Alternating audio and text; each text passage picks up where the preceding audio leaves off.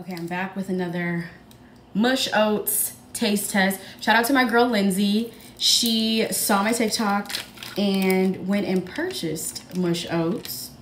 I think we're getting a little influential here.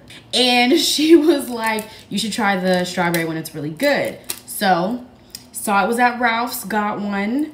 We have another cute little quote. It said, it's hard to beat a person who never gives up.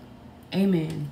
Okay, so we're gonna stir her up a little bit because like I mentioned in the last TikTok, it is a little bit runny, but just, you know, give her a second to come together. Let's try. Mmm. Oh, I like this one better than the vanilla bean. The vanilla bean is a solid eight.